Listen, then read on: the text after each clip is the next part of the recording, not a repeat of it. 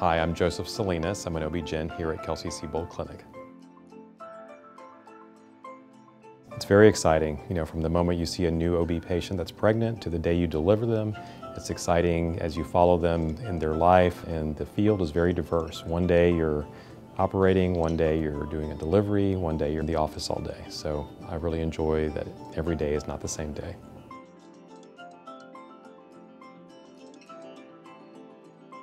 I was drawn to medicine because at a young age I've always had a desire to care for people. I took that desire and uh, went to college in Houston and saw the medical center across the street and thought I would like to continue my education there.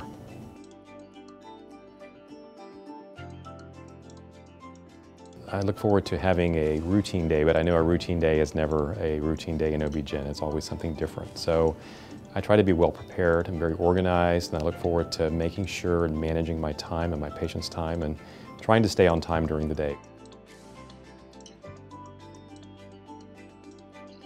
I enjoy following people's health and trying to uh, impress on them the importance of a um, balanced life and a healthy life. I try to share with them my knowledge on that and try to have them leave my office with more information than when they've come in.